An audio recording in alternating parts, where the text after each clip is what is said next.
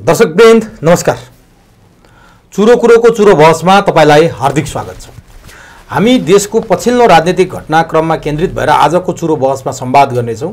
सकेसम्म देखिएका पछिल्ला राजनीतिक बाइसिटामा गहन र मिहिन ढङ्गले छलफल गर्नु आजको कार्यक्रमको मुख्य लक्ष्य र मकसद रहनेछ। आजको चुरो कुरोको चुरो बहसमा राजनीतिक विश्लेषक अधिवक्ता सञ्चारकर्मी प्राध्यापक जम्मै नामले परिचित राजेन्द्र पाठक हुनुहुन्छ। उहाँसँग हामी पछिल्लो राजनीतिक गतिविधिमा केन्द्रित भएर संवाद गर्नेछौँ। सबभन्दा पहिले म चुरो बहसमा राजेन्द्र पाठकलाई स्वागत गर्छु। यहाँलाई चुरो बहसमा हार्दिक स्वागत छ। हस् धन्यवाद। तपाईँहरूलाई नयाँ वर्षको शुभकामना पनि तपाईँ। यहाँलाई पनि दुई हजार अस्सी सालको हार्दिक मङ्गलमय शुभकामना मेरो व्यक्तिगत तर्फबाट र चुरो कुरो परिवारको तर्फबाट। हस् धन्यवाद। राजनीतिक परिदृश्य राजनीतिक पटाक्षेप यहाँले राम्रैसँग अवलोकन गर्नुभएको छ। के लाग्छ? सामान्य छ अथवा असामान्य छ? सामान्य छ भने के कति कारणले यहाँले सामान्य देखिरहनु भएको छ? होइन असामान्य भन्नुहुन्छ भने त्यो असामान्यका कारणहरू के के हुन् मैले यहाँबाट गरेँ परिस्थिति त एकदमै असामान्य देख्छु मैले चाहिँ किन भन्दा सामान्य भनेर यसलाई मूल्याङ्कन गर्न सहज छैन। किनभने अहिलेको यो तपाईँले उपनिर्वाचनलाई नै हेर्ने हो भने पनि यो उपनिर्जा निर्वाचनमा जति स्वतन्त्र पार्टीको विरुद्धमा एघार एघारवटा दल लागेका छन् र बाँकी अरू एमाले पनि विरुद्धमै छ। त्यो अवस्थामा पनि स्वतन्त्र पार्टीमा प्रति मान्छेको चाहना मान्छेको जनचाहना जनताको इच्छा आकाङ्क्षालाई हेर्दाखेरिमा त्यसले के देखाउँछ भने एउटा अस्ति भर्खर जन्मिएको पार्टी त्यसप्रति मान्छेको त्यत्रो लगाव बढ्नु त्यो लगावको पछाडि साँच्चीकै स्वतन्त्र पार्टीका कार्यकर्ता त पक्कै होइनन्। किनभने त्यो स्वतन्त्र पार्टीले त्यति धेरै कार्यकर्ता बनाउनु भएको पनि छैन। त्यति धेरै एक्टिभ मेम्बरहरू बनाउनु भएको पनि छैन होला सङ्गठित कार्यकर्ताहरू पनि उसँग छैन होला। तर त्यो एउटा मासले चाहिँ नि त्यो उसलाई चाहिँ नि प्रिफर गरेको देख्दाखेरिमा चाहिँ अब राजनीति असामान्य तरिकाले बगिराखेको छ नेपालको राजनीति भन्ने मलाई लाग्छ। किनभने अब नेपालको परिस्थितिमा अहिले त्यो तिनवटा उपनिर्वाचन क्षेत्रहरूमा तिनैवटा ठाउँमा यदि स्वतन्त्र पार्टीले चुनाव जित्यो भने जित्ने सम्भावना धेरै देख्छु मैले। धेरै नै देख्छु अत्याधिक देख्छु। यदि छिटफुट कतै हारिहाल्यो भने पनि एउ- एउटा सिट भन् एउटा सिट कम होला। तर सकेसम्म चाहिँ मलाई तिनै सिट हुन्छ भन्ने मलाई लाग्छ। भनेपछि तिनै भाइ रवि लामिछानेको भाषामा अङ्गालो हालेर बेरिएर संसद भवनभित्र संसदभित्र छिर्ने सम्भावना ज्यादा देख्छु मैले। एकदम ज्यादा देख्छु। उनान्सय पर्सेन्ट देख्छु। यदि त्यस्तो भइहाल्यो भने भोलि यी दलहरूले बाँकी दलहरूले बाँकी स्थापित भन्ने दलहरूले कङ्ग्रेस एमाले माओवादी मधेसवादी लगायतका स्थापित दलहरूले कहाँ नाकमुख देखाउँछन्? कसरी नाकमुख देखाउँछन्? अर्को चुनावको लागि यिनीहरू लायक हुन्छन्? र अर्को चुनाव चुनावको लागि यिनीहरू नालायक हुने परिस्थिति निर्माण भयो भने यिनले कुन रूप बदल्लान्? यी त छेपारो जस्ता हुन्। छेपारोले रूप बदले जस्तो बदल्छन्। यिनले कुन रूप बदल्लान्? त्यसमै आकलन गर्नुहोस् न नेपालको राजनीति होइन अवस्था यहाँ त लोकतन्त्र बान्ने लोकतन्त्रवादी हो नि। लोकतन्त्रमा विश्वास यसमा कुनै- पनि निरङ्कुशतामा यहाँको विश्वास छैन। कुनै पनि निर्दलीयतामा यहाँको विश्वास छैन। आवाधिक निर्वाचनमा कुनै दलले जित्दैमा कुनै दलले हार्दैमा आकाशै खस्ने र एउटा दलले जित्दैमा अरू दल चाहिँ तिनवटा सिट हार्दैमा अरू दल चाहिँ समाप्तै भए सकिहाले भन्ने त्यसको मानाङ्क सूचाङ्क के? हेर्नुहोस् म तपाईँ चुनाव हार्नु नै के सकिनु हो? एकदम म प्रश्न बनाउँछु यसलाई प्रश्न बनाउँछु। नेपालको अहिलेको व्यवस्था नाम मात्रको बहुदलीय व्यवस्था हो। नाम मात्रको लोकतन्त्र हो र नाम मात्रको गणतन्त्र पनि हो। यदि यो नाम मात्रको गणतन्त्र होइन थियो भने यी निरङ्कुश नेताहरूमाथि अङ्कुश लगाउने कुन चाहिँ पद्धति छ त? मलाई देखाइदिनुहोस् त। निरङ्कुश कुन अवस्थालाई भन्ने हो स्थापित दलहरूलाई कसैले पनि दायाँ बायाँ हटाउन नसक्ने यिनीहरूकै राज निरन्तर रूपमा भइराख्ने यिनीहरूकै परिवारभित्र चाहिँ जहानिया तन्त्र भइराख्ने यिनीहरूकै साला जेठान आफन्त भाइ भतिजा भारदार छोरा श्रीमती यी सबै चाहिँ नि यिनीहरूको दलभित्र अटाउने र यिनीहरू नै शासन व्यवस्थामा आउने व्यवस्थालाई तपाईँ लोकतन्त्र भनेर कसरी साबित गर्न सक्नुहुन्छ म तपाईँसँग प्रश्न प्रश्न गर्न चाहन्छु। कहाँ कसको जानिए छ? हामी पो लोकतन्त्रमा विश्वास गर्छौँ भनेर हामी भन्दैछौँ। हामी हामी बाहेकको हेर्नुहोस् त। जनता बाहेकको तपाईँ हामी जस्तो सामान्य जनता बाहेकको नेतृत्वले कहाँनिर कहाँनिर लो लोकतन्त्रलाई स्वीकार गरेको अवस्था छ? कुन ठाउँमा छ लोकतन्त्र? लोकतन्त्र भनेको के हो? तपाईँले भनेको आवधिक निर्वाचन मात्रै लोकतन्त्र हो। लोकतन्त्रको परिभाषाभित्र अरू चिज आउँदैन। लोकतन्त्रले आफूलाई मन इच्छाको मान्छेलाई चुन्न पाउँदैन। जबरजस्त उसको श्रीमतीलाई चुन्नुपर्छ। कुनै नेताको श्रीमतीलाई चुनिदिनुपर्छ। जबरजस्त कुनै नेताको सालोलाई चुनिदिनुपर्छ। जनताले मन पराएर उनीहरूको उनीहरूको पनि योगदान काहीँ कतै छ भने कुनै परिवार राजनीतिक परिवारमै जन्मिँदैमा राजनीति गर्न पाइँदैन। प्रचण्डको छोरी हुँदैमा प्रचण्डको छोरी राजनीतिमा आउन पाइँदैन। सुन्नुहोस्। शेरबहादुरको श्रीमती राजनीति गर्न पाइँदैन। नेताको छोरी नेताको श्रीमती नेताको भाइ नेताको बुहारीले राजनीति गर्न हुँदैन भन्ने संविधानमा छ। कसले कसले पाइँदैन भनेर भने अनि हामीले आपत्ति र टाउको दुखाइ कहाँ? सुन्नुहोस् न। म यो तपाईँलाई प्रश्न बनाइदिन्छु यो कुराको। प्रचण्डको छोरी भरतपुरको निर्वाचन क्षेत्रमा महानगरपालिकामा उठ्दै गर्दाखेरिमा त्यो मतपत्र च्यातेर फेरि चुनाव दोहोऱ्याउनु पर्थ्यो। त्यो चाहिँ कहाँको लोकतन्त्र हो? चुनाव हार्ने स्थिति आइसकेपछि मतपत्र च्यातेर चुनाव दोहोऱ्याएको होइन। जबरजस्त उसैलाई ल्याउनु पर्थ्यो। ऊ नआएदेखि अनिष्ट हुन्छ भन्ने उनीहरू नै होइन। अब तपाईँले नेता होइन। उनकै बाउ होइनन्। तपाईँले एकछिन प्रचण्डै होइनन्। तपाईँले मत अनिष्ट हुन्छ भन्ने। उनी नआए किन अनिष्ट हुनुपर्ने? यो भन्ने सुन्नु फेरि अर्को कुरा। अर्को कुरा। शेरबहादुर देवाको श्रीमती आर्जु देवा चुनाव लडेर चुनाव नजिक्ने अवस्था निर्माण भइसकेपछि समानुपातिकमा उनी पनि उनी मात्रै बस्नुपर्ने कारण के छ? ल भन्नुहोस्। अरूको योगदान छैन। उनको कति योगदान छ? यो लोकतन्त्र ल्याउनेमा उनी राणाको जुद्ध शमशेरको नातिनी उनको कति योगदान छ? लोकतन्त्र ल्याउनेमा कुनै योगदान छ देख्नु भएको छ? उनको आमा त अहिले पनि राष्ट्रिय प्रजातन्त्र पार्टीको केन्द्रीय सदस्य भए रवि लामी छानेर स्वर्णिम वाग्लेहरूको नेपालमा लोकतन्त्र ल्याउन कहाँनिर के योगदान छ? लोकतन्त्र ल्याउनको लागि योग योगदान मात्रै ठुलो कुरा होइन सर। त्यही खोज्नु। लोकतन्त्रलाई स्वीकार्नु पनि योगदान हो। लोकतन्त्रलाई सहज रूपमा स्वीकार्नु पनि योगदान उनीहरूले त आफ्ना छोरीलाई श्रीमतीलाई भाइलाई भतिजालाई भारदारलाई त त्यहाँ लगाएका छैनन् नि। चोइस गरेर लगाएका छन् सही मान्छे लगाएका छन् उचित उपयुक्त मान्छे पात्र लगाएका छन् तिनलाई जनताले भोट हाल्दैछन् चुनाव जित्दैछन् चुनाव जितेर सालको आन्दोलन। हुँदा अथवा बैसठी त्रिसठी सालको आन्दोलन हुँदा रवि लामी छाने कहाँ थिए सुन्नुहोस् आन्दोलनमा लडेकै भरमा कहाँ थिए? सुन्नुहोस् न। आन्दोलनमा लडेकै भरले त्यसलाई योगदान मानिन्थ्यो भने राजेन्द्र प्रसाद पाठकले चाहिँ कहाँनिर कुन ठाउँ कुन स्थान प्राप्त गर्यो त ल भन्नुहोस् न। म कुनै पनि लोकतान्त्रिक आन्दोलनमा कहिले पनि पछाडि परेको छैन। म हरेक लोकतान्त्रिक आन्दोलनमा जेल परेको छु। हरेक लोकतान्त्रिक आन्दोलनमा घाइते भएको छु। मैले नेपाली काङ्ग्रेसको लागि त गीत लेखेको छु गीत बनाइदिएको छु जसको गीतै थिएन। जो सांस्कृतिक कार्यक्रममा उनीहरू फिल्मका गीत बजाएर नाच्थे। त्यसो हो भने त्यो राजेन्द्र प्रसाद पाठकले चाहिँ कहाँनिर भूमिका प्राप्त गर्यो त? किन सक्नु भएन त? तपाईँ जस्ता राजेन्द्र हामीले चाकरी गर्न सकेन राजेन्द्र त त्यहाँ थुप्रै थियो काङ्ग्रेसमा त। सुन्नुहोस् म त आठ लाख नौ लाख त क्रियाशील सदस्य म तपाईँलाई भन्छु नि म तपाईँलाई यो कुरा भन् जस्टिफाई गर्दैछु त। हामीले पैसा दिन सकेनौँ आर्जु म्याडमलाई। हामीले उनको चाकरी गर्न सकेनौँ आर्जु म्याडमको चाकरी गर्न सकेनौँ। हामीले जस्ताको तस्तै कुरा भनिदिउँ जे छ त्यो कुरालाई हामीले ब्रिफिङ गरिदिउँ हामी त्यसमा असहमत बन्यौँ उनका खराब कुराहरूमा हामी असहमत बन्यौँ त्यही कारणले हामीले ठाउँ पाएनौँ। बुझ्नुभयो? अनि ठाउँ पाउनको लागि यो राजनीति? ठाउँ पाउनु कुरो ठुलो कुरा होइन। सुन्नुहोस्। गणेशमान सिंहले प्रधानमन्त्री अस्वीकार गरेको त्यही काङ्ग्रेस होइन। सुन्नु न ठाउँ पाउ ठाउँ पाउनु ठुलो कुरा होइन। ठाउँ प्राप्त गरिसकेपछि त्यो ठाउँलाई चाहिँ सही तरिकाले सदुपयोग नगर्नु चाहिँ बदमासी हो क्या? ठुलो बदमासी हो। त्यही भएर उनीहरूको उनीहरूले बेचेका पद जति कुनै कसले कसले चाहिँ नि सही रूपमा चाहिँ काम गरेको छ? देख्नुभयो?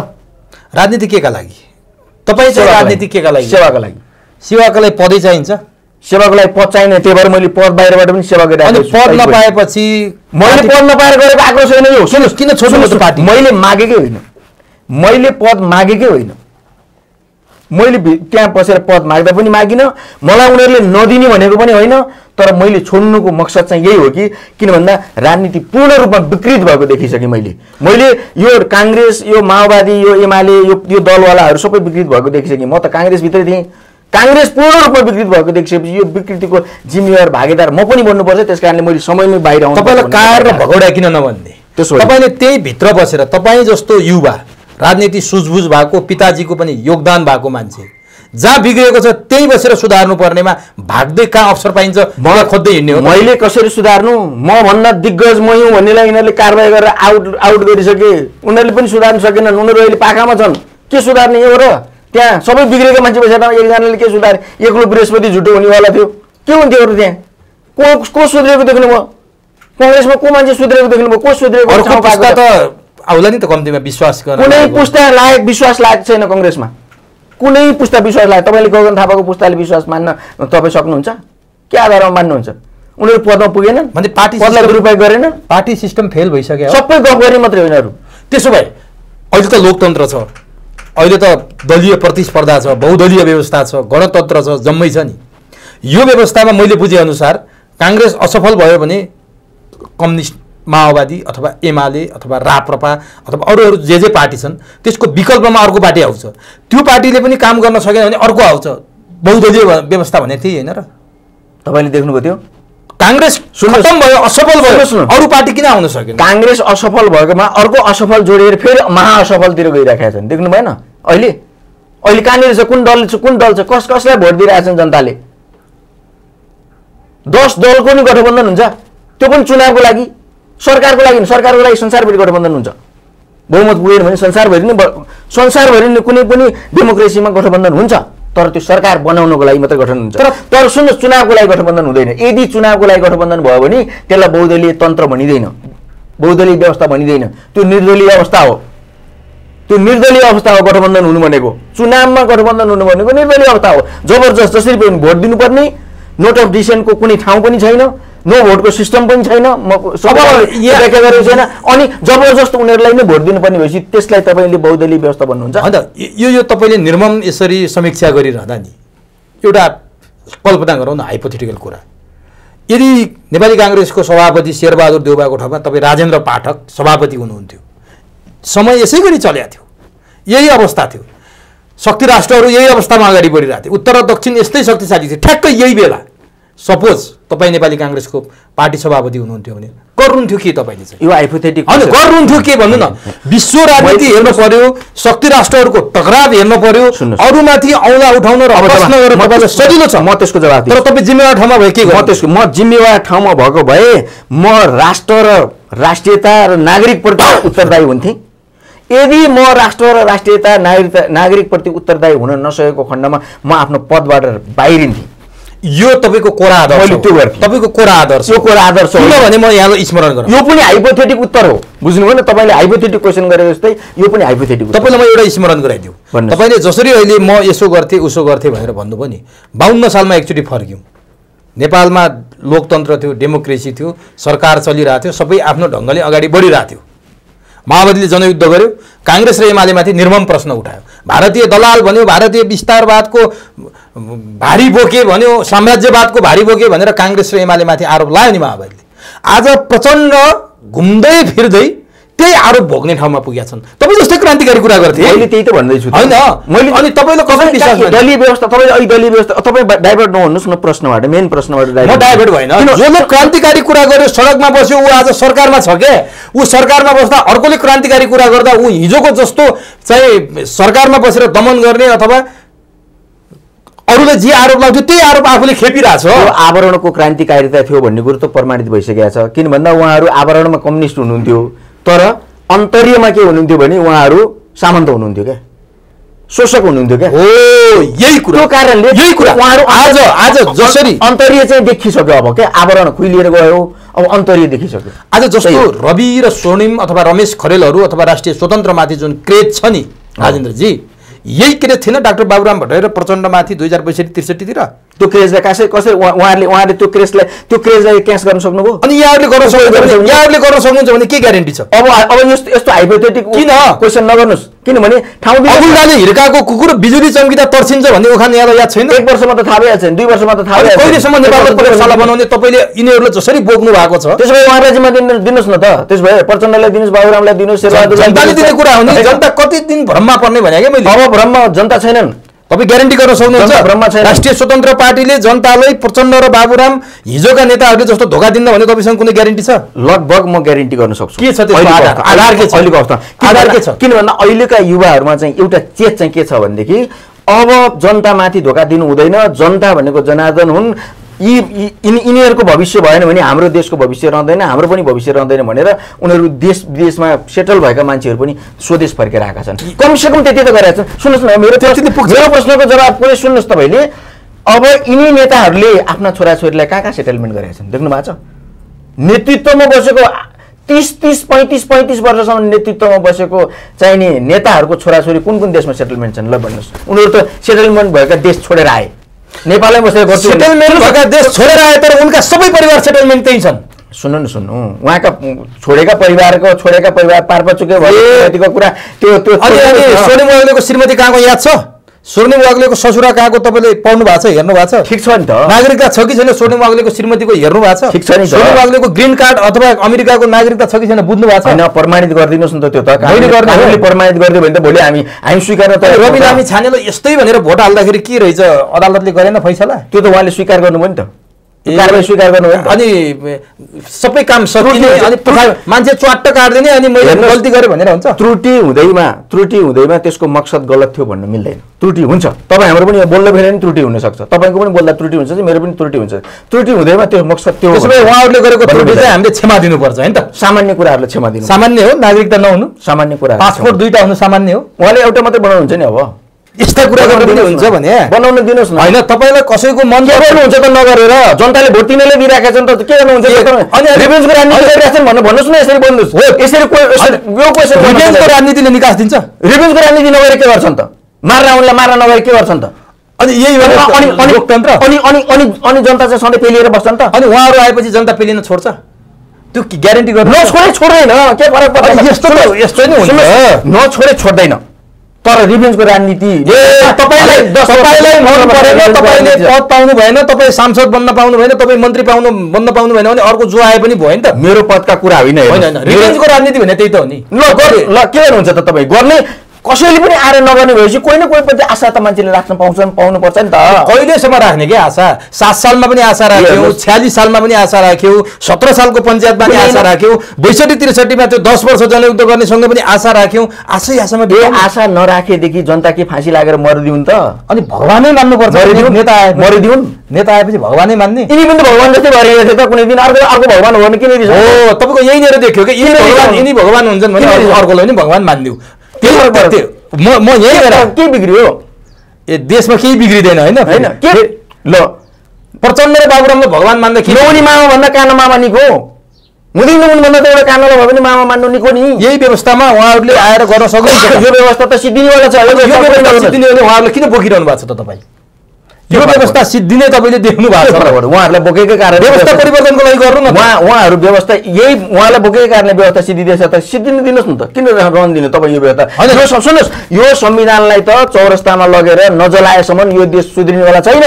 यो व्यवस्थालाई तपाईँ नखसालेसम्म यो यो यो- देश सुध्रिनेवाला छैन जनताले कहिले सुख सुविधा प्राप्त गर्नेवाला छैनन् बुझ्नुभयो? तपाईँ एकातिर यो भन्नुहुन्छ अर्कोतिर यही व्यवस्थामा अवस्था परिवर्तन गर्न सम्भव छ भन्नेहरूलाई गर्दनमा बोकेर हिँडिरहनु भएको छ नि? तपाईँले कसरी तपाईँले के कुरा मैले नबोकेर- के गर्नु? होइन, होइन, जनताले त के गर्नु? एउटा क्लियर कुरा कमसे कम एउटा आशा गर्ने ठाउँ त छ नि। जित्दैमा आशा गर्ने ठाउँ हुन्छ। ल। तिनजनाले जितेर। यिनीहरूलाई निराश बनाएर सिद्ध्याउने आधार त तय हुन्छ नि त। अनि उहाँहरू यिनीहरूलाई यो बेमान बेकुब यो देश खानेलाई यो देशको राष्ट्रियता खानेलाई जनता खानेलाई यो देशको ढुकुटी खानेलाई निराश बनाएर लखेट्ने आधार त राजेन्द्र पाठकको सोचाइ हो क्या। उहाँहरूको त यही अब व्यवस्थामा अवस्था परिवर्तन गर्ने भन्ने छ। तपाईँले जबरजस्ती उहाँहरूले व्यवस्था फाल्नुहुन्छ उहाँहरू जितेर आएर व्यवस्था जान्छ भनेर हुन्छ भने क्या। उहाँहरूले भने सुन्नु भएको छ। रवि लामी छानेले व्यवस्था फाल्ने भने सुन्नु भएको छ। अब सुन्नुहोस्। रवि लामी छाने सोनी व्यवस्था फाल्ने भने सुन्नु भएको छ। रमेश खरेलले व्यवस्था फाल्ने भने अब। व्यवस्था फाल्ने भन्यो भने त यही व्यवस्थाभित्र चुनाव लड्नु परिराखेको छ। अहिले ज्ञानेन्द्र शाहले त हिम्मत गरेका छन् त। संसदभित्र पसेर यही व्यवस्थामा त्यही संसदमा उनले पनि कहाँ भनेका छन् यो व्यवस्थाले काम गर्न सक्दैन भनेर उनले मजासँग भनेका उनले पनि सही कुरा गरेका छन्। हो। संसदभित्र पसेर उनले त। उनले पनि गर्ला। खोइ गर्न दिनुहोस्। तपाईँले उनले गरे जे पनि। गर्लान् भनेर समय छ दिनुहोस् न। जसको यो मुलुकमा कुनै योगदानै छैन यो व्यवस्थाले परिवर्तन गर्न। व्यवस्था ल्याउनले योगदान के? ढुङ्गा बोकेर चाहिँ गगन थापाले ढुङ्गा हानेको फोटो गगन थापाको आउँदैमा यो व्यवस्था चाहिँ गगन थापाको हातमा जिम्मा काँधमा हुनुपर्ने भन्ने तपाईँको भनाइ हो। तपाईँले रवि लामी छाने सोनिम वाग्ले र रमेश खरेलको मुखबाट भन्न लाउनुहोस् कि? हामी यो व्यवस्था फाल्नका लागि चुनाव जितेर आयो भने त्यो भन्न त्यति बेला म स्यालुट गरौँ भन्न लाउने जनताले हो मैले होइन तपाईँले पनि होइन। कोही कहाँ भन्न भन्न लाउने जनताले हो क्या। चितवनको जनताले भन्न लाग्यो हिजो कहीँको। जनताले भन्न लगाउला नि त आफ्नो सांसदलाई भोलि? भन्न लगाउला नि त यो व्यवस्थाले काम गरेन भने भन्न लगाउने त जनताको हो। त्यसो भए आशा गरौँ होइन त? आशा गरौँ। जुन कुरा रविले बोलेका छैनन् राजेन्द्र पाठकले त्यो कुरालाई यही हो भनेर भनिदिइसक्नुभयो मैले भनेको नमान्नुहोस्। भोलि तिनै तिनै भोट दिएर जाने जनताले यो व्यवस्थामाथि असहमति राखेर तपाईँले यो व्यवस्थामाथि के गर्न सक्नुहुन्न? अब यो व्यवस्थामा तपाईँले कल्पना नगर्नुहोस्। अब व्यवस्था परिवर्तन गर्छ गर्नुपर्छ भनेर उन- उनको नेतालाई उनै जनताले चाहिँ भन्यो भने तपाईँ के गर्नुहुन्छ ल भने भने रोक्न सक्छौँ? भने भने एकदम ठिक छ। ल व्यवस्था परिवर्तन हामीले यदि। भनेनन् भने चाहिँ के देख्नुहुन्छ यदि भनेनन् हेर्नुहोस्। यही काङ्ग्रेस यसको एउटा छ कि? मर्निङ सो द डे पनि। भिडबाट लड्ने गाईलाई राम राम भन्न सकिन्छ थाहा पाएर पनि नथाहा पाए जस्तो नगरिदिनुहोस्। जस्तो रवि लामी छानेले चुनाव जितेर आएपछि धेरै मान्छेको अपेक्षा थियो। उहाँ प्रमुख प्रतिपक्षमा ब के अरे प्रतिपक्षमा बस्नुहुनेछ। सरकारलाई र्याखर्याख्ती पार्नुहुनेछ। जुन कुरा ज्ञानेन्द्र साईले आज गरिरहेको छ अझै पनि मलाई विश्वास छ। सरकारको समर्थन त फिर्ता लिने हिम्मत गर्नु भएको छैन तपाईँ गठबन्धनको मान्छे त हो नि। अब चुनाव सिद्धिएर फर्केर आइसकेपछि यदि उहाँ संसद भएर आउनुभयो भने चुनाव जित्नुहुन्छ मलाई विश्वास छ। होइन भएर आउनुभयो भने उहाँले आफ्नो सोचाइमा परिवर्तन गर्नुहुन्छ। किन भन्दा राजनीतिक अपरिपक्वता उहाँको केही थियो होला त्यसलाई सुधार उहाँले गर्नुहुन्छ भने मलाई विश्वास छ। अब जस्तो यहाँले विश्वास गर्नु म पनि विश्वास गर्नु होला कि अहिलेसम्म प्रचण्ड सरकारले दिएको समर्थन कायम छ उहाँको नम्बर एक। राष्ट्रपतिमा रामचन्द्र पौडेलले उहाँले चुनावमा राष्ट्रपतिमा भोट हालेर जिताउनु भएको छ।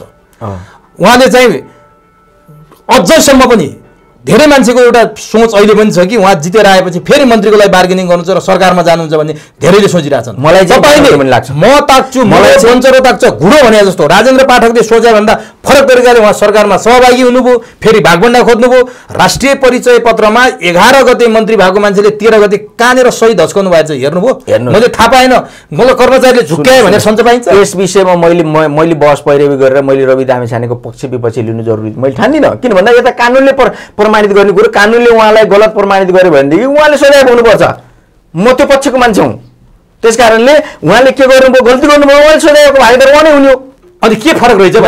प्रचण्ड ओली देउबा भन्दा उहाँ कहाँनिर फरक देखिनु भयो कि मैले। यही खोजिरहेको छु तपाईँलाई। फरक धातुले भने जसरी व्याख्या गर्नु भएको छ नि उहाँहरूको त। अघि मैले तपाईँलाई भनिहालेँ तपाईँको प्रश्नको जवाफ मात्रै दिएको हुँ मैले। तपाईँलाई मैले अघि भनिसकेको छु कि यो रिभेन्जको राजनीति हो? त्यहाँ यो भित्र यिनीहरूले तिस पैँतिस वर्षसम्म लगातार जनतालाई। खाए अब हाम्रो पालो खाने। परिणाम हो। त्यो खाने। भोटै दिन त हो? किन सधैँ यिनै बदमासलाई चाहिँ नि यिनलाई असल नेता भन्दा किन भोट दिनु पर्यो? बरु कसैलाई दिउँ एकचोटिलाई ट्रायल गरौँ भनेर दिइरहेका छन् जनताले। दिनुहोस् न त ट्रायल गर्न। जनताले ट्रायल गर्न नदिनु जनतालाई ट्रायल गर्न दिउँ देशलाई पनि ट्रायलै गरौँ। सधैँभरि देश प्रयोगशाला बनाऊ यसमा केही फरक। व्यवस्था हेर्नुहोस्। संसदीय व्यवस्थामा आज होइन चार सय पाँच सय सात सय वर्षको ट्रायलमा चाहिँ आज बेलायती बेलायतलाई चाहिँ संसदीय व्यवस्थाको जननी भनिन्छ। बुझ्नुभयो? यो ट्रायलकै व्यवस्था हो। त्यही भएर त मैले भने नि यो व्यवस्था समाप्त नगरेसम्म यो संविधान समाप्त नगरेसम्म मुलुक बन्नेवाला छैन जनता पनि बन्नेवाला छैन भनेर मैले भनिसकेको छु तपाईँले ठ्याक्कै यही व्यवस्था र संविधानप्रति प्रश्न उठाइरहँदा बालेन शाहले अदालतको फैसला नमान्ने उद्घोष गरेका छन्। एउटा काठमाडौँ महानगरपालिकाको मेयर जसले अदालतको फैसला चाहिँ मान्दैन भनेर अदालतलाई नै च्यालेन्ज दिन्छन् भने यसलाई कसरी लिने?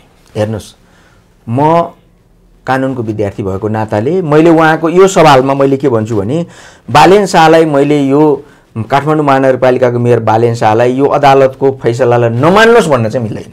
म नमान्नुहोस् भन्न नि सक्दिनँ। तर मान्नुहोस् भन्ने आधारहरू पनि मसँग के। भने यो भने। होइन न नमान्नुहोस् भन्ने पनि सक्दिनँ। म मान्नुहोस् विद्यार्थी उहाँले मान्नु हो भने उहाँको कुरा हो। तर नमान्नुहोस् के अरे मान्नुहोस् भन्ने मेरो आधारहरू पनि मसँग देख्थेँ के भन्दा सरकारले उहाँलाई जति असहयोग गरेको छ काम गर्नको लागि उहाँले कार्य सम्पादनको लागि विभिन्न ठाउँमा सरकारले गर्नुपर्ने एउटा चाहिँ नि सहजीकरण नगरिदिएको कारणले उहाँले एउटा चाहिँ नि प्रतिशोधपूर्ण तरिकाले यिनीहरू नै बस्ने ठाउँमा यिनीहरूकै मुकाममा चाहिँ नि फोहोर नउठाइदिउँ न त। किन यिनीहरू सधैँ फोहोरको राजनीति गर्छन् भनेर त्यो फोहोरको राजनीति गरेको माथिको यो प्रतिकार हो? प्रतीकात्मक यो सङ्केत हो यो। तर जहाँ जहाँ उहाँले फोहोर उठाउँदैन भन्नु भएको थियो राष्ट्रपति कार्यालय सिंहदरबार बालुवाटार जता जता भन्नुभएको छ नि। काठमाडौँ महानगरपालिकाभित्र पर्छ। स्थानीय स्वायत्त शासन अन्तर्गतको नियम कानुन सबै तपाईँ त कानुनको विद्यार्थी पनि फोहोर उठाउँदैन भन्न पाइन्छ। महानगरपालिकाको मेयरले। पाइँदैन। अनि त्यो- पाइँदैन। त्यो त्यो किन अदालतको आदेश मान्दैन भन्न पाइन्छ लोकतन्त्रमा। पनि महानगरपालिकाको एउटा क्षेत्र हो एउटा ठाउँ हो। त्यो किन सम्पूर्ण महानगरपालिकाको क्षेत्रभित्र पर्ने कुरा हो त्यो। त्यो उहाँले नपाउनु पर्ने हो। तर के भइदियो भनेदेखि साठी साठ्यम समाचारित भनेको छ नि संस्कृतमा। मूर्खलाई मूर्खै व्यवहार गर्नु। मूर्खलाई तपाईँ फुल लिएर जानुभयो भने हतियार लिएर आउनेलाई फुल लिएर जानुभयो भने त्यो हतियार फ्याँक्नेवाला छैन त्यो फुल लिनलाई। सुन्नुहोस् त्यो हतियारभन्दा अर्को ठुलो हतियार कसैले बोकेर गयो भने बल्ल त्यो हतियारधारी भाग्न सक्छ भन्ने चाहिँ एउटा संस्कृतको उयो। तर अर्को पनि। बुद्ध गौतम बुद्धलाई मान्नुहुन्छ तपाईँ? कसैले एउटा गालामा थप्पड हान्छ भने अर्को गालो थाप्नु भन्ने गौतम बुद्ध होइनन् आफैले थाप्नेवाला होइनन् गौतम बुद्ध? अनि बुद्धको देश होइन यो? अनि फुलको जवाफलाई हतियारै दिनुपर्छ भन्ने? फुलको जवाफ फुलले पनि दिनुहुन्छ होइन? हतियारको जवाफ हतियारले पनि दिनुहुन्छ। यो त सुन्नुहोस्। यो त बुद्धको दर्शनभन्दा फरक यो यो। बुद्धको दर्शनभन्दा फरक हो नितान्त फरक हो। तर तिनै बुद्ध धर्मका फलोवरहरू पनि आफ्नो साथमा हतियार बोकेर हिँड्छन्। तपाईँलाई थाहा छ? कसैले आफूलाई मार्न आयो भने के गर्ने? प्रतिकार स्वरूप त गर्नु पऱ्यो प्रतिकार त गर्नु पऱ्यो त्यही बालनशाला पनि त काठमाडौँमा यो महानगरपालिकामा यो व्यतिथि हुँदाखेरिमा त्यो व्यतिथिको विरुद्धमा बोलेका हुन् नि तिनले पनि। तिनले पनि गलत कुरा गरेका त होइनन् नि। त्यो व्यतिथिको विरुद्धमा बोल्दै गर्दाखेरिमा उनलाई त्यो व्यतिथिको लाई चाहिँ निराकरण गर्नको लागि सहजीकरण गर्नु पर्दैन थियो। सरकारको त्यो चाहिँ दायित्व होइन। फोहोर उठाउने दायित्व त उनको हो। म भनिरहेको छु दायित्व उनको हो। तर सरकारले पनि त्यो सहजीकरण गरिदिनु पर्दैन? पर्छ कि पर्दैन? सरकारले के गरिदिनु पर्यो? सधैँ फोहोरको राजनीति गर्ने आफ्नो कार्यकर्तालाई उठाइदिने जो सरकारमा गए- गएछ उसको कार्यकर्ता जस्तो काङ्ग्रेस सरकारमा गयो काङ्ग्रेसको कार्यकर्तालाई उठाइदिने फोरा फाल्न नदिने होइन? त्यो रो- त्यो रोकिदिने विभिन्न कामहरू रोकिदिने बाटो रोकिदिने अवरोध गरिदिने आन्दोलन गरिदिने हडताल गरिदिने ढुङ्गा हानिदिने अनि अर्को गयो अर्को विपक्षीले पनि त्यसै गरिदिने अनि त्यसपछि उहाँले चाहिँ काम गर्नु पाउनु पर्दैन? त्यो सहजीकरण हुनु पर्दैन राज्यले गरिदिनु पर्दैन त्यो सहजीकरण त्यो चाहिँ उहाँ त्यो त्यो तर- तर त्यो- चाहिँ हक होइन। हाम्रो हामी पनि त महानगरपालिकावासी हुने हामीले पनि त हामीले हाम- पनि त सफा महानगरमा बस्नु पाउनुपर्छ नि। गर्नका। लागि अवरोध गरिदिएको छ। किन गरेर सहयोग गरेका छैनन्। देख्नु भएन। त्यो अस्ति नै त्यो के अरे त्यही त्यही फोहोर फाल्ने ठाउँमा त्यत्रो कति दिनसम्म त आन्दोलन गरेर गाडी लगभग सारा कुरो जस्तो देख्छौ त हेर्नुहोस्। फोहोर त उठिरहेछ। मैले तपाईँलाई तपाईँकै कार्यक्रममा पनि एक दुईचोटि यो यस विषयमा मैले बोलिसकेँ होला। यही फोहोरको राजनीतिबाट यिनीहरू बाँचेका छन्। यिनीहरूले आफ्नो कार्यकर्ता पालेका छन्। आफ्नो चुलो जलाएका छन्। यही फोहोरलाई देखाएर विश्व विश्व बजारबाट पैसा उठाएर ल्याएका छन्। विभिन्न ठाउँबाट डोनेसन लिन्छन् अनुदान लिन्छन् ऋण लिन्छन्। यिनै विषयलाई देखाएर तर त्यो ऋण डोनेसन अनुदान त्यो कहाँ गएर कसरी पचाउँछन् त्यो तपाईँ आफै खोज्नुहोस्। तपाईँ पनि खोज पत्रकारिता गर्न सिक्नुहोस् आजबाट। अब त्यसै गरी बाँचेकाहरूले के बालेन्सालाई सहजीकरण गरिदिएलान् त्यहाँ सहज रूपमा फोहोर फोहोर फाल्ने फोहोरको व्यवस्थापन गर्ने होइन यो यही सुकुम्बासीको व्यवस्थापनको कुरा पनि अस्ति नै उठ्यो। मैले सुकुम्बासीको पक्षमा बोलेको पनि हुँ। किन भन्दा वास्तविक सुकुम्बासीले दुःख पाउनु हुँदैन। अवास्तविक जो सुकुम्बासी जो छन् नि हुकुमबासीहरू सुकुम्बासी बन्न गएका छन् तिनले तिनलाई चाहिँ निराकरण गर्नुपर्छ हटाउनुपर्छ। भनेर भनेकै हुँ तपाईँकै मिडियामा बोलेको हुँ। त्यसमा सहजीकरण गर्नु पर्दैन थियो राज्यले। क्लियर गरिदिनु पर्दैन थियो। को सुकुम्बासी हो को हुकुमबासी हो क्लियर गरिदिनु पर्दैन थियो राज्यले। साँच्चीकै सुकुम्बासीलाई राज्यले पनि दिनुपर्छ महानगरले पनि दिनुपर्छ सबैले संरक्षण गर्नुपर्छ।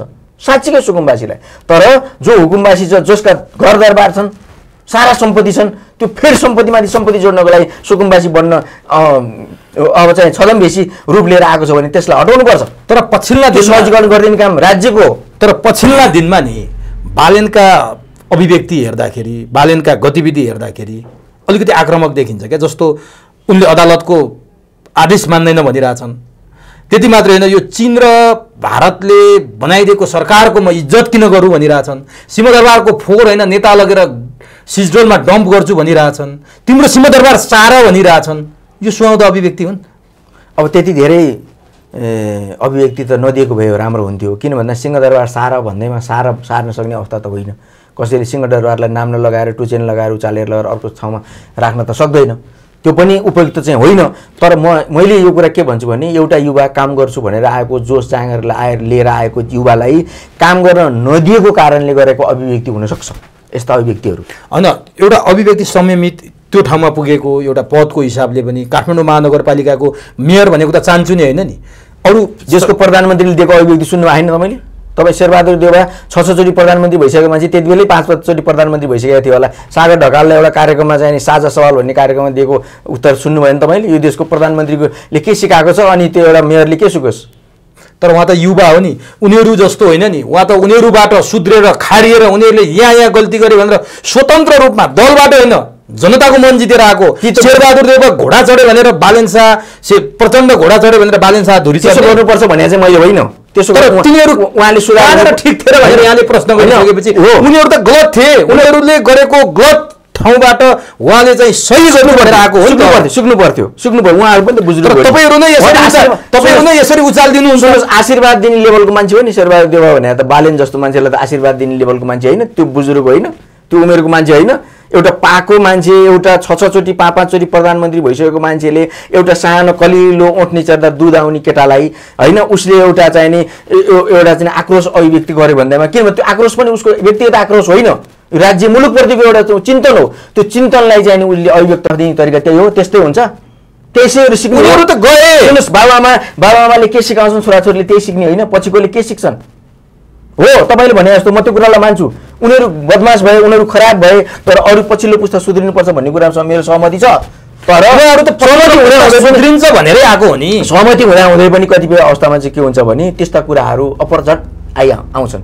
हेर्नुहोस् रिसको झोकमा कसैले वेद पढेको हुँदैन। मैले अघि भने नि अदालतको निर्णयलाई मान्दिनँ भन्नु हुँदैन। किन भन्दा अदालतले जस्तो सुकै निर्णय गरे तापनि त्यसलाई मान्नुपर्छ। किन भन्दा एउटा मात्रै मान्ने संस्था भनेको त्यही चिज हो।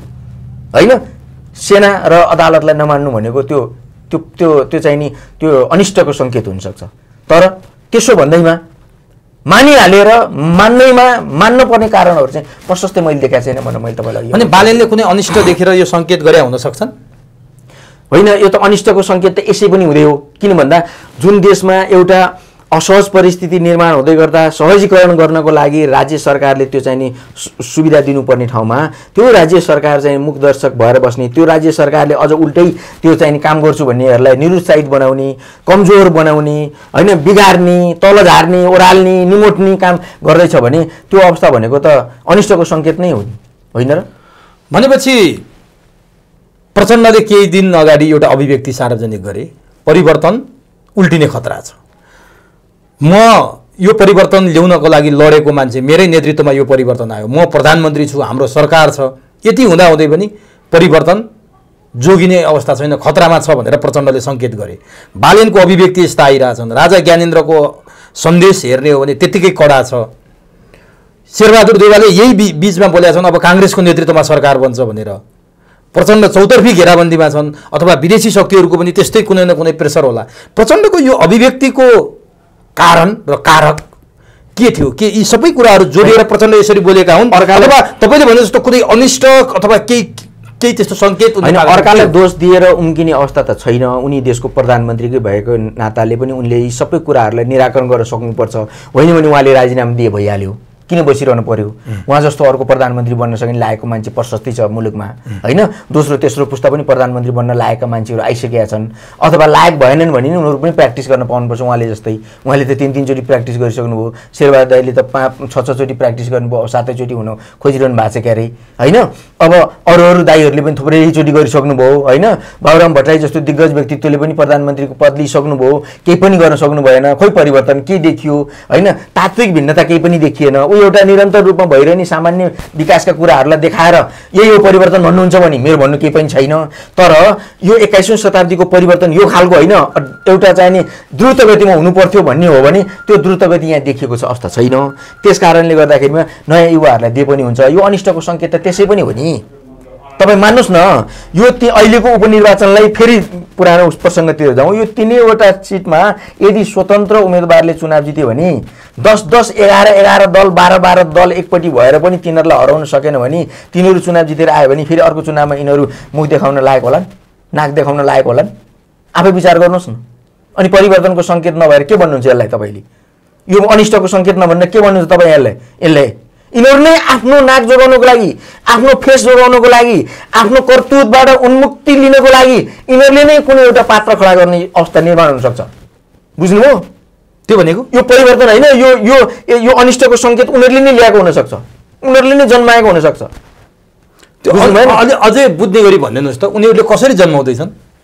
अब आफूले भोलि अर्को चुनावमा एउटा सामान्य अस्ति भर्खर छ महिना अगाडि जन्मिएको दलले अहिले तिनैवटा क्षेत्रबाट आफूले चुनाव जितेर आयो भने यिनीहरू स्विप आउट भयो भने तपाईँ भोलि अर्को चुनावको लागि के यिनी स्थापित भन्ने दलहरू चाहिँ चुनावमा लड्नलाई चाहिँ नि लायक होलान्? तर एउटा नि जस्तो नालायकीपनलाई छोप्नको लागि त्यो नाक लुकाउन त्यो मुख लुकाउनको लागि त्यो अकर्मण्यता लुकाउनको लागि यिनीहरूले विभिन्न किसिमको षड्यन्त्र गर्लान् न- नगर्लान् भन्न सकिन्छ।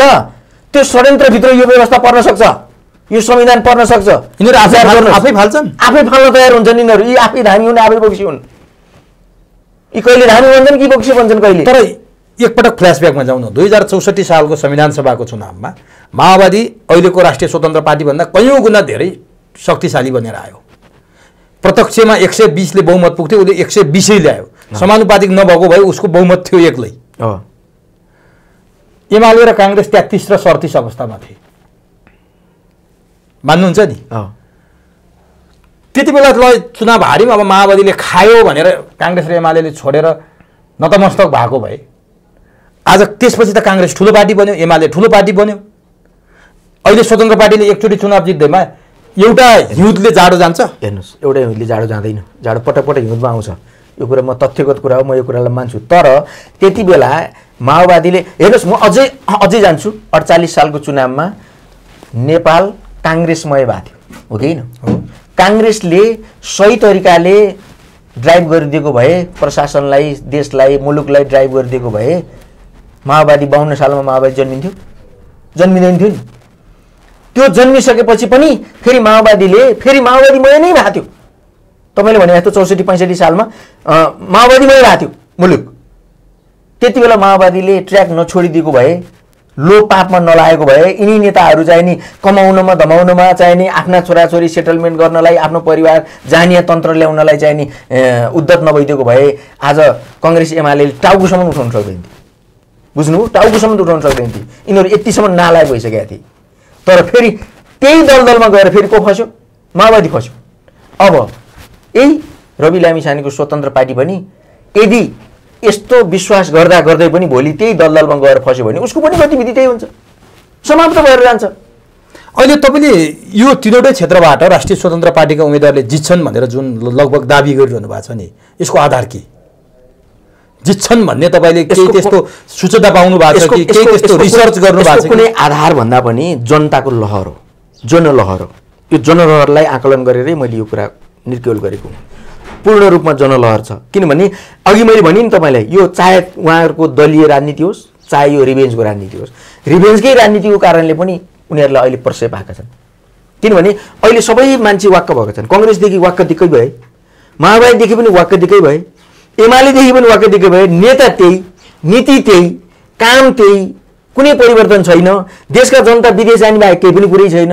दिनमा बाइस बाइस सयजना मान्छेले त बाइस सयमा दुई हजार दुई सयजनाले त के एयरपोर्टको बाट चाहिँ आउट हुन्छन्। एयरपोर्टबाट आउट हुन्छन्। अब यो यत्रो हाम्रो सत्र सय किलोमिटरको अठार सय किलोमिटरको भारतीय बोर्डरमा यो बोर्डरबाट कतिजना आउट होलान्? अब आफै अनुमान गर्नुहोस्। त्यो मात्रै नभएर स्टुडेन्ट भिसामा आउट हुनेहरू कति होलान्? आफै अनुमान गर्नुहोस्। भिजिट भिसामा आउट हुनेहरू कति होलान्? आफै विचार गर्नुहोस्। अब यत्तिका युवाहरूले चाहिँ यो मुलुक छोड्नुको पछाडि कारण के होला भनेर खोज्दै जानुभयो भने के यसको जिम्मेवारी काङ्ग्रेसले एमाले माओवादीले लिनु पर्दैन?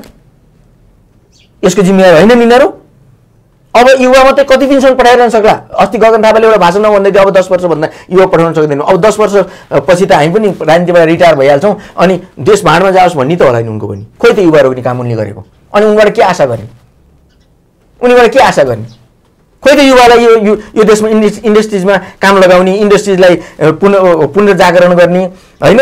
एउटा चाहिँ नि यो यहीँ देशमै बस्ने वातावरण निर्माण गर्ने जिम्मेवारी उनको होइन। उनी त एउटा प्रतिष्ठित दलको चाहिँ महामन्त्री जस्तो पदमा छन् त। दुई दुईजना युवा छन् अझ विश्वप्रकाश शर्मा छन्। गगन थापा छन् खोइ त? युवा- युवालाई जगाएर युवालाई यही देशमा यही देशमा संरक्षण गर्ने नीति चाहिँ उनले कहाँनिर ल्याए त? दलमा कहाँनिर ल्याए त? शेरबहादुर देवालाई कहाँनिर गएर विस्थापन गर्न सके त? कहाँनिर गएर शेरबहादुर देव तपाईँ तपाईँ मेरो हाम्रो सम्माननीय सभापति हुँदाहुँदै पनि तपाईँले गरेका क्रियाकलापले मुलुक बन्दैन युवा बन्दैनन् जनता बन्दैनन् राष्ट्रियता रहँदैन। अराष्ट्रिय तत्त्व घुसिसक्यो भनेर कहाँनिर उनीहरूले जवाब गरेका छन् त? सवाल जवाब गरेर सुनाउनुहोस् न त। उनीहरू आफू पदमा आफ्नो पदलाई अपग्रेड गर्ने बाहेक कुन कहीँ काम गरेका छन्? अनि तिनीबाट चाहिँ नि तपाईँले सम्भावना देख्नुहुन्छ? अनि रिभेन्जको राजनीति नगरे के गरून् यो देशको जनताले?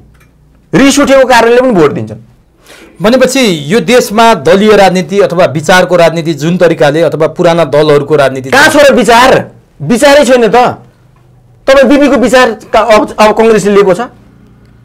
माओ सेदुङको वि- विचारलाई चाहिँ माओवादीले लिएको छ स्वीकार गरेको छ।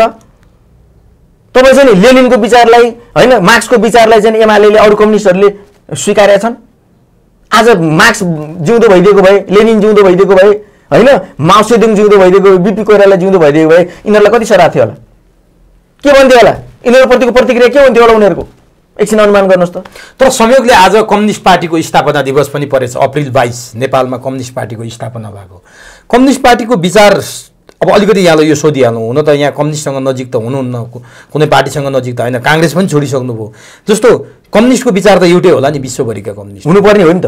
त नेपालमा कम्युनिस्टको यति धेरै पसल किन हुन्छन् एउटै कम्युनिस्ट किन बन्न सक्दैनन्? ए सर मैले अघि तपाईँलाई भनिनँ। यिनीहरू भित्र पनि कम्युनिजम भइदिएको भए यिनीहरूको अन्तर्य पनि कम्युनिस्ट भइदिएको भए यिनीहरूको आवरण मात्रै कम्युनिस्ट भने मैले अस्ति भने अघि भनिसकेको छु त। यिनीहरूको अन्तर्य पनि कम्युनिस्ट कम्युनिज कम्युनिजम भइदिएको भए अन्तर्य भित्र पनि कम्युनिजम भइदिएको भए आज यिनीहरू यो आलिसान बङ्गला बनाउँथे। यो आलिसान दरबार बनाउँथे। यत्रो सम्पत्ति जोड्थे। एउटा पुँजीवादीको मुलुकमा छोराछोरी परिवारलाई सेटलमेन्ट गर्थे एउटा कम्युनिस्ट नेताले गर्छ। गर्न सक्ने कुरा हो त्यो। एकछिन सोच्नुहोस् त। नेपालका कम्युनिस्टको नेताहरूका छोराछोरीहरू अमेरिकामा सेटलमेन्ट छन्। उहाँको पुँजीवादसँग नेगोसिएसन गरिराखेका छन्। अनि यिनीहरू कम्युनिस्ट हुन्। यिनलाई के आधारमा तपाईँ कम्युनिस्ट भन्नुहुन्छ कहाँ छ कम्युनिजम? यिनीहरू त सामन्त हो अन्तर्यमा यिनीहरू सामन्त हो मैले अघि भनिसकेको छु त। आवरणमा मात्रै कम्युनिस्ट हुन् आवरणमा मात्रै यिनीहरू बाद हो तर अझै बाद हो। अझै नेपालमा कम्युनिस्टप्रति आकर्षण छ यिनीहरूले कम्युनिस्टको नारा दिएर अथवा युवाहरूलाई चाहिँ रगत उम्लिने भाषण गरेर अझै मान्छे कम्युनिस्टको पछाडि दौडिरहेछ त कारण के हो? जनता गरिब छन् जनता अबुझ छन् जनता अशिक्षित छन् अझै अशिक्षित गराउन कोसिस गर्दैछन् नत्र भने यो हजारौँ हजार टावर यस्तो निर्माण गर्नुभन्दा यस्ता यस्ता चाहिँ नि यस्ता यस्ता ठुला ठुला गाउँपालिकाका पालिकाका भवन निर्माण गर्नुभन्दा ठुला ठुला चाहिँ नि यो आवश्यकताभन्दा बाहिरको स्ट्रक्चर निर्माण गर्नुभन्दा पहिला यो देशमा स्वास्थ्य र शिक्षामा पूर्ण रूपमा सरकारले लगानी गरिदिएको भए के हुन्थ्यो? आज हेर्नुहोस् त भ्यू टावर अरबौँ अरबौँ बनिराखेको छ। पुरा आधा भएर बसिरहेको छ। तिनलाई बजेट थप्नुपर्ने अवस्था छ। खाइ नखाइकन पुरा गर्नको लागि। कि त्यसलाई त्यतिकै छोडिदिनु पर्यो? ल हेर्नुहोस् त यही बस पार्कमा हेर्नुहोस् त त्यो भ्यू टावर। त्यहाँ धरालो बेच यहाँ भ्यू टावरहरूको किन चाहिएको छ? ल हेर्नुहोस् डिजाइन कस्तो छ? योजनाको यिनीहरू कस्तो छ? यो देशमा स्वास्थ्य र शिक्षा पूर्ण रूपमा चाहिँ नि राज्यले जिम्मा लिन्छ भनेर पूर्ण रूपमा देशभरि स्वास्थ्य संस्था बनाइदिएको भए शिक्षण संस्था बनाइदिएको भए के भन्दा जनता सक्षम हुन्थ्यो नि? क्षमतावान हुन्थ्यो नि? सोच्न सक्ने हुन्थ्यो नि? बौद्धिक हुन्थ्यो नि? सुर स्वस्थ हुन्थ्यो नि? हेल्दी हुन्थ्यो नि? अनि तिनले निर्णय चाहिँ हेल्दी निर्णय गर्थे। बौद्धिक निर्णय गर्थे। त्यसपछि यिनीहरू विस्थापित हुन्थे। त्यही कारणले यिनीहरूले त्यस्ता कुरामा लगानी गर्दैनन् यिनीहरू त्यस्ता स्ट्रक्चर खडा गरेर त्यहाँबाट कमिसन खान आज आज। आज जे जति भद्रगोल भएको छ नि तपाईँले सायद कुनै चारै कुनामा काहीँ पनि सन्तोष मान्ने राम्रो कुरो भद्रगोल नभएको व्यथित नभएको केही पनि देख्दैन यसको कारण र कारक चाहिँ के हो त? पात्र कि प्रवृत्ति कि प्रणाली? अथवा कुनै नेताको कारणले यस्तो भइरहेछ कि अथवा यो व्यवस्थाको कारणले यस्तो भइरहेछ नेताको कि? प्रवृत्ति। सबैभन्दा कारक नेताको प्रवृत्ति। सिस्टमले पनि केही पनि कहिलेसम्म मान्नुहोस् न। पञ्चायत त क्रूर शासन थियो नि एक किसिमले भन्यो। भने, निरङ्कुश शासन त थियो नि। त्यहाँ दलीय व्यवस्था थिएन नि। यति धेरै हामीले बकबक बोल्न पनि पाउँदैन थियौँ नि। यसै गरी विश्लेषण पनि गर्न पाइँदैन थियो नि। तर के थियो भन्दा त्यहाँको त्यो महेन्द्रको चाहिँ नि प्रवृत्ति चाहिँ सही थियो क्या। उनको मकसद सही थियो क्या। तपाईँ छ नि सिङ्गापुरमा लिप्वानियुको स- अब अब चाहिँ शासन व्यवस्थामा चाहिँ निरङ्कुशता थियो नि। तर उनको प्रवृत्ति चाहिँ सही थियो क्या। उनी निष्ठावान थिए क्या मुलुकप्रति र जनताप्रति। त्यस कारणले सिङ्गापुर बनेको छ क्या तपाईँ छ नि त्यही मलेसिया बन्नुको पछाडि माथिर मोहम्मद निरङ्कुश थिए नि। होइन? तिनको सिस्टम त निरङ्कुश थियो नि। तर उनको मकसद र प्रवृत्ति चाहिँ सही थियो क्या यो- कारणले त्यो- देश बन्यो। देश नबन्नुको कारण चाहिँ नेताको प्रवृत्ति हो। यी बेमानहरूको यी- बेमानहरूको चाहिँ नि सोच हो। यिनी सामन्तका मस्ल नस्ल हुन् क्या यी आफू मात्रै खान चाहन्छन् क्या जनतालाई सधैँ गरिब बनाउन चाहन्छन् क्या यी बेमानहरूको चाहिँ झुन्ड हो क्या यो?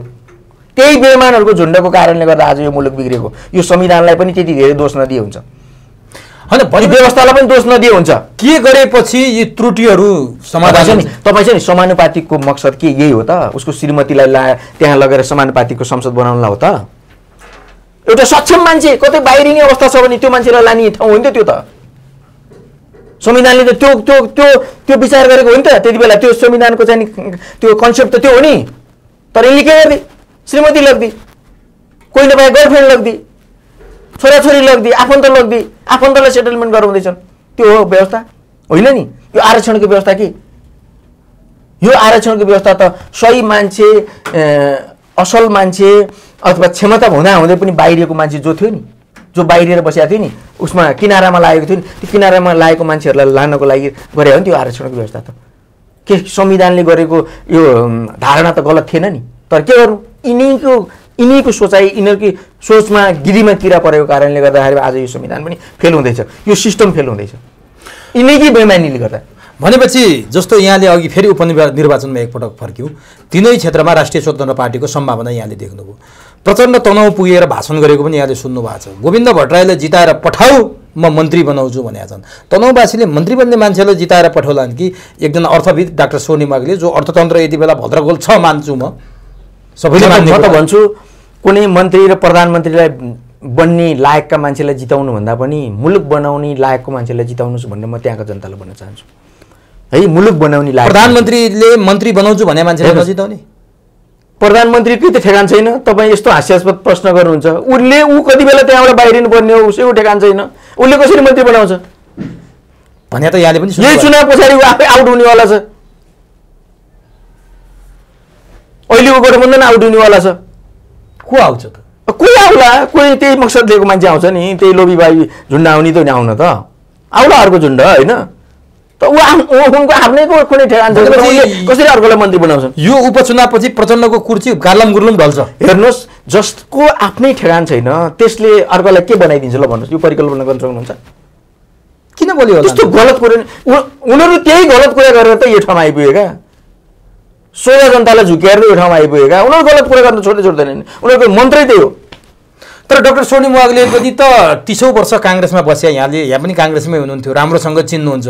उहाँले के नै योगदान गर्नु भयो जस्तो लाग्छ? उहाँलाई म व्यक्तिगत रूपमा त चिन्दिनँ हेर्नुहोस्। तर तर काङ्ग्रेस तर काङ्ग्रेसभित्र राम्रै ठाउँ पाएर बस्नुभएको हो। काम पनि गर्नुभयो होला। होइन त्यो काम गरेर। कामले त्यस्तो धेरै परिणाम पनि देखिएन। देखिन्छ होइन? अब त्यो अब त्यो भित्र होला। अब त्यो काको होलमा बकुल्लो बन्नु होला अलग कुरा हो होइन? त्यसो भनेर मलाई थाहा छैन। राष्ट्रिय जनआयोगको सदस्य पनि बन्नुभयो उपाध्यक्ष पनि त्यसको। जिम्मेवार लिनुपर्छ। काङ्ग्रेसको घोषणापत्र पनि लेख्नुभयो। आज डाक्टर रामशरण महतको नीतिमा काङ्ग्रेस हिँड्दा अडचालिस सालदेखि अस्सी सालसम्म काङ्ग्रेसले दुःख हेर्नुहोस् मलाई मलाई नेताको चाहिँ विषयमा चाहिँ नि मलाई धेरै टिप्पणी गर्नु छैन। त्यहाँका नेताहरू सबै अब्बल देख्छु मैले। सबै अब्बल देख्छु। गोविन्द भट्टराई पनि अब्बल देख्छु। किन भन्दा धेरै दुःख पाएको धेरै सङ्घर्ष गरेको नेता हो होइन? उहाँलाई पनि अब्बल देख्छु। सोनिम वागले पनि पढाइ लेखाइ भएको विद्वान नवयुवा हो होइन? जोस जाँगर सहित जानुभएको छ। उहाँलाई पनि अब्बल देख्छु मैले होइन? अब अब त्यो प्रहरीबाट जानुभएको सर्वेन्द्र खनाल पनि उहाँ पनि अब्बलै मान्छे हो। उहाँ पनि उहाँ पनि मैले त्यस्तो केही त्यस- त्यस- त्यस्तो नेगेटिभ कुनै केही देख्दिनँ। तर अब त्यहाँका जनताको हातको कुरा हो। किन भन्दा जनतामा अब एउटा एक किसिमको एउटा ठुलो बहाव छ हावा चलेको छ। त्यो हावाहुरीमा चाहिँ नि अरू बढाइरिनेवाला छन्। अब सायद मलाई लाग्छ स्वतन्त्र पार्टी नै तिनै सिटमा आउँछ मेरो विचारमा। आएपछि तात्विक फरक केही पर्छ? होइन तात्विक फरक त्यति नपर्ला। होइन? नपर्ला अहिले हामीले त्यत्रो ठुलो- आशा पनि नराखौँ। तर केही न केही युवाहरू गए। जस्तो हिजो तात्विक फरक पर्दैन ज्ञानेन्द्र साई आए पनि तात्विक फरक पर्दैन भन्दा भन्दै अहिले कमसेकम संसदमा एउटा बोलिदिने युवा त जन्मिया छ नि। बोलेको छ नि। त्यसलाई त मान्नुपर्छ नि। जस्तो अब यही बालेन्द्र शाह पनि त आएर के फरक पर्छ र काको होलमा बकुल्लो हुन्छ एकजना हुन्छ के गर्न सक्छ र भनेको थिएँ कमसेकम तात्विक फरक परेको छ नि। किन भन्दा बोलेको छ नि केही कुरा। त्यही हर्क साम्पाङ। त्यही बसेर अहिले हर्क साम्पाङलाई चाहिँ नि उ दिइराखेका छन् उजुरी दिइराखेका छन् अख्तियारमा उजुरी दिएका छन्। काम गर्न नदिनको लागि सारा उसका हात खुट्टा बाँधिने अवस्था भइराखेको छ। तैपनि यो एउटा युवाले जोस जाँगरका साथ काम गरेको छ नि। त्यत्रो चाहिँ नि त्यो सुन्नुहोस् अरबौँ रुपियाँ लगानी गर्थ्यो। अब अब त्यहाँ राज्यको बजेट लगानी हुँदा पनि त्यतिको निर्माण हुँदैन थियो होला। त्यो निर्माण त हर्क साम्पाङले एकल रूपमा अगाडि उभिएर आफू डोको समातेर नाम्लो समातेर होइन? गैँची बेल्चा हातमा समातेर हातमा ग्लोभ्स लगाएर होइन गमबुट लगाएर आफै चाहिँ नि त्यो फिल्डमा खटेको छ नि त्यो युवा। कमसेकम यसले त तात्विक भिन्नता ल्यायो नि त।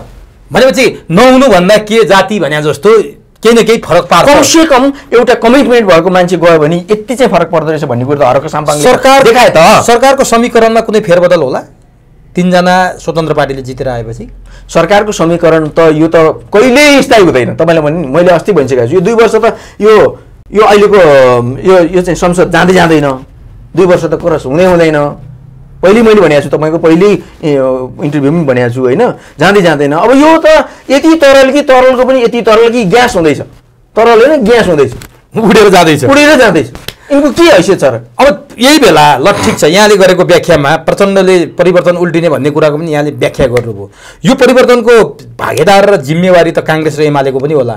यो परिवर्तन उल्टिन लागेकोमा प्रचण्ड बडो चिन्तित देखेर बोले। शेरबहादुर देउबा र केपी ओलीले अब मतलबै छैन उनीहरू बोलेकै छैनन्। के उनीहरूलाई यिनी पो के चिन्तित छन् भने? सम्पत्ति कमाइहाले छोराछोरीले ठिक ठिक ठाउँमा राखिहाले बाँचेका जतिलाई। होइन? अब सबै कुरा सम्पन्न भइहाले। अब यिनलाई के चिन्ता छ र? अर्को रङ फेर्छन् अर्कोतिर जान्छन् यिनलाई पो के चिन्ता छ र? भारतले चाहिँ प्रचण्डको भ्रमणमा आनाकानी गर्नुको कारण के? तपाईँ अलिकति भारतसँग निकट पनि हुनुहुन्छ। के लाग्छ यहाँलाई? भारतमा त हामी सबै निकट छौँ। विदेशका चाहिँ नेपाली। तपाईँ अलिक बढी हुनुहुन्छ। अठार सय किलोमिटर बोर्डर त हाम्रो खुल्ला छ। अनि निकट नभएर को निकट हुन्छ? त भारत त यसै पनि निकट छँदैछ नि। धर्म संस्कृति संस्कार होइन नाता कुटुम्बको हिसाबले पनि भारत त यसै पनि निकट छँदैछ नि। हामी सबैको निकट हो नि भारत त। तर पनि पत्यार नगरेको हो भन्ने चाहिँ मलाई लाग्छ। किन पत्यार गरेन? किन पत्यार गर्नु? त्यो चाहिँ उहाँलाई सोध्नुपर्छ एकचोटि तर बाहिर एउटा कुरा सुनिन्छ कि राजा ज्ञानेन्द्रसँग दलहरूले पाँच बुधे सहमति गरेका थिए। पाँच बुधे सहमतिमा दलहरूले राजा ज्ञानेन्द्रलाई धोका दिए। त्यो धोकाधडीको राजनीति यदि तिमीहरूले छोड्दैनौ र त्यो पाँच बुधे पालना गर्दैनौ भने तिमीलाई प्रधानमन्त्रीको रूपमा स्वीकार्दैन म निमन्त्रणा गर्दैन भनेर भारतले प्रचण्डमाथि दबाब दिएछ भन्ने सुनिन्छ। म ठ्याक्कै त्यही शब्दमा त भन्न सक्दिनँ तर अविश्वास गरेको चाहिँ हो विश विश्वास नगरेको चाहिँ हो। होइन यिनप्रति चाहिँ नि कुनै कुनै पनि देशले विश्वास गर्ने अवस्था छैन। न अमेरिकाले विश्वास गर्ने अवस्था छ यिनलाई। होइन न चिनले विश्वास गर्ने अवस्था छ यिनलाई। न युरोपियन युनियनले नै व्यस्त यि- यिनलाई विश्वास गर्नेवाला छ न भारतले विश्वास गर्छ। किन यति पुङमाङ यी भयो? सबैको खाइराखेको छ। यी सबैको खाने सबैको काम गर्छु भन्ने मलाई पद दिनुहोस् भन्ने मलाई प्रतिष्ठामा पुर्याउनुहोस् भन्ने यो चाहिँ कमिटमेन्टमा आएका छन्। यिनले कुन चाहिँ कमिटमेन्ट पुरा गरेका छन्? कुन चाहिँ कमिटमेन्ट पुरा गरेका छन् राजा ज्ञानेन्द्रसँगको कमिटमेन्ट किन यिनले किन पुरा गर्नु पर्यो? राजा ज्ञानेन्द्रसँग कमिटमेन्ट भएको बारेमा चाहिँ तपाईँलाई केही थाहा छ? मलाई केही थाहा छैन। पाँच बुधे सहमतिको धेरै चर्चा होइन मैले पनि सुने हो तपाईँले जस्तै मैले पनि पाँच बजी सहमति भएको हो अरे भनेर सुनेको हो। किन भन्दा यदि मलाई मलाई एउटा एजम्सन गर्ने ठाउँ चाहिँ के छ भनेदेखि राजा जस्तो पद राज संस्था जस्तो त्याग गर्नुको पछाडि केही न केही कमिटमेन्ट नगएको नभएको भए त्यति सहज रूपमा चाहिँ नि राजा ज्ञानेन्द्रले पनि पद त्याग्दैन थिए होला भन्ने चाहिँ मलाई पनि लाग्छ। होइन? अब हामीले नदेखेको कुरो। हामीले अब हामीले पनि तपाईँले जस्तै मिडियामा सुने हो। होइन सहमति त छ अरे भन्ने कुरो। सहमति पनि थियो होला। निरङ्कुश राजतन्त्र पो फ्याँक्ने भने त। निरङ्कु राजतन्त्रै फ्याँक्ने भने त होइन। निरङ्कुश राजतन्त्र चाहिँ फ्याँक्ने भने शब्दमा त त्यही हो नि। शब्दले त त्यही कुरा व्याख्या गर्छ नि। निरङ्कुश राजतन्त्र फ्याँक्ने भने हो नि। तर राजतन्त्र फ्याँक्ने भने त होइन। पछिल्ला दिनमा राजा ज्ञानेन्द्रका अभिव्यक्ति अलि बढी कडा अलि बढी निर्मम जस्तो आइरहेछन्। चाहे त्यो दसैँको कोर्स करेक्सन गर्ने कुरा होस्। उनी पनि यो देशको अभिभावक हुन्। फागुन सात पाउनुपर्छ। उनी पनि यो देशको अभिभावक हुन्। बोल्न पाउनुपर्छ उनले पनि। किन बोल्न नपाउने? उनले किन बोल्न नपाउने? यिनले जे पनि बोल्न पाउने उनले बोल्न नपाउने भन्ने आउँछ। उनको लागि चाहिँ के मुख बन्द हो यो यो उनको लागि चाहिँ लोकतन्त्र होइन। उनको लागि चाहिँ यो यो यो यो यो यो के अरे खुला व्यवस्था होइन। तर उहाँले मौन नबस्ने सङ्केत गर्नुभयो यहाँले किन बस्ने मौन? मौन बस्नु हुँदैन। मेरो पनि सजेसन तपाईँकै मिडिया मार्फत उहाँलाई सजेसन छ। न मौन नबस्नुहोस्। किन भन्दा तपाईँ पनि रा यो यो देशको जनताको अभिभावक हो। राज संस्था फर्किने सङ्केत हो यो? अब म त त्यो चाहिँ भन्न सक्दिनँ। त्यो चाहिँ म भन्न सक्दिनँ। मोही माग्ने ढुङ्ग्रो लुकाउने? होइन त्यसो नि होइन। मैले कहाँ भनेको छु र? कहाँ मै मागेको छु र? व्यवस्था जान्छ भनिरहनु भएको छ त। के आउँछ त व्यवस्था गयो भने राजतन्त्रै आउँछ भन्ने पनि त होइन नि। के छ त अरू? जुनसुकै पनि विकल्प नि। यो सिस्टमभित्र कुनै कुनै कुराहरू ब्रेक भएर अरू बाँकी कुराहरूलाई जोडिनु पनि सक्छ नि। हुनसक्छ तपाईँले भने जस्तै राज राज संस्था पनि जोडिन सक्छ। अथवा अर्को कुनै शक्ति जोडिन सक्छ। ल मलाई अन्तिममा यहाँले भनिदिनुहोस् त यति बहस गऱ्यो यति कुराकानी गऱ्यो यसको निष्कर्ष। के गरेपछि के भएपछि दलहरूले के गरिदिनु पर्यो? जनताले के गरिदिनु पर्यो? स्वतन्त्रबाट जितेर आउनेले के गरिदिनु पर्यो? अभिभावकको भूमिका निर्वाह गर्न खोजेका राजा ज्ञानेन्द्रले के गरिदिनु पर्यो? र देश साँच्चीकै लयमा हिँड्छ जनता सुखी हुन्छन् देश समृद्ध बन्छ। के कहाँनिर के बिग्रेको छ कहाँनिर के दोष भएको छ के फुकाइदिँदाखेरि यो समाधान? व्यक्तिगत इच्छा चाहनालाई त्यागेर राष्ट्र र राष्ट्रियताप्रति र जनताप्रति उत्तरदायी बनिदिनुहोस्। त्यति हुनासाथ देश बन्छ। त्यति भनिदिएर पुग्छ? यति हो। हुनुपर्ने कुरा। हो। अब उहाँहरू व्यक्तिगत इच्छा राख्नुहुन्छ त। छोरालाई प्रधानमन्त्री बनाउने इच्छा राख्नुहुन्छ छोरीलाई राष्ट्रपति बनाउने इच्छा राख्दै हुनुहुन्छ छोरीलाई सांसद बनाउने श्रीमतीलाई सांसद बनाउने इच्छा राख्दै हुनुहुन्छ त। त्यो इच्छा त जनताले मानिदिनु पर्यो नि। भनेपछि त्यति फालिदिएपछि सबैले व्यक्तिगत व्यक्तिगत चाहनाबाट मुक्त हुनुहोस्। तपाईँहरूको व्यक्तिगत इच्छा भनेको तपाईँको नितान्त परिवारभित्र विषय हो। तपाईँहरू राष्ट्रिय तपाईँहरू सार्वजनिक पदमा हुनुहुन्छ। त्यस कारणले तपाईँहरू सार्वजनिक बनिदिनुहोस्। राष्ट्र राष्ट्रियता र जनताप्रति उत्तरदायी बन्नुहोस्। यति तिनवटा कुरा तपाईँहरूले अवलम्बन गरिदिनु भयो भने यही व्यवस्थाभित्र पनि उन्नति हुन्छ। होइन? अर्को व्यवस्था आएछ भने पनि गर्नुपर्ने कुरा यही हो। हुनुपर्ने कुरा यही हो। होइन होइन भने? विश्वभरि नै विकसित राष्ट्रहरूका अगुवा गर्ने अगुवाई गर्नेहरूले यिनै तिनवटा कुराहरूलाई आत्मसात गरेकै कारणले उनीहरूको देश बनेको होइन भने देश कहिल्यै बन्दैन बन्द? बन्दैन। हस् यो महत्त्वपूर्ण समय र संवादका लागि यहाँलाई हार्दिक हार्दिक धन्यवाद। हस् मेरो विचार मेरो भावना जनता समक्ष राख्ने एउटा अवसर दिनुभएको छ। त्यसको लागि तपाईँ लगायत तपाईँको चुरोकुरो टिमलाई मेरो हार्दिक नमन। हस् हस्।